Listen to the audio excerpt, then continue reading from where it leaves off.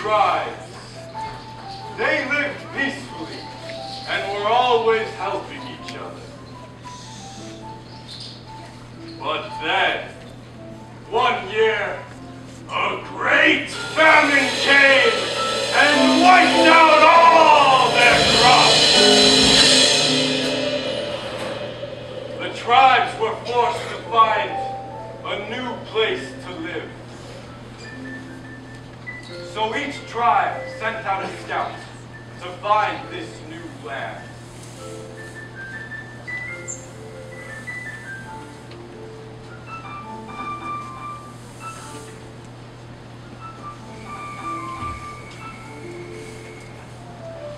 The first scout came across a beautiful piece of land. A clear stream,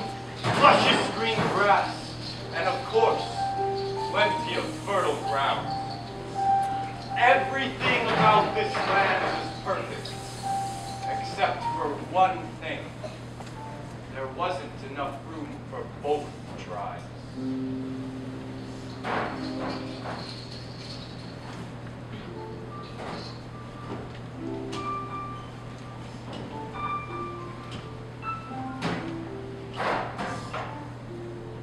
The second scout, he came to the same conclusion as the first. There was not enough.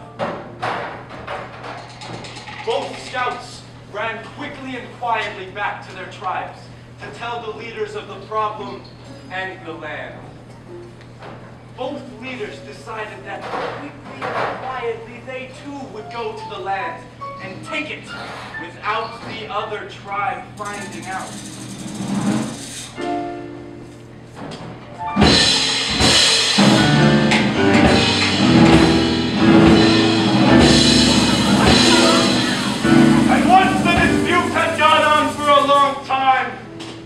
The shaman decided that he would teach the tribes a lesson.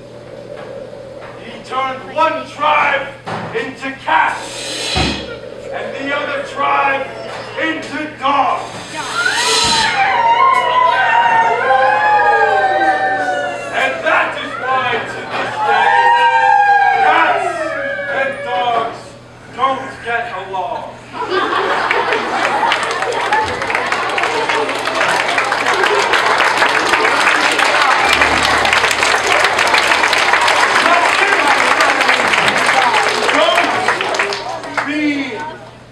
three.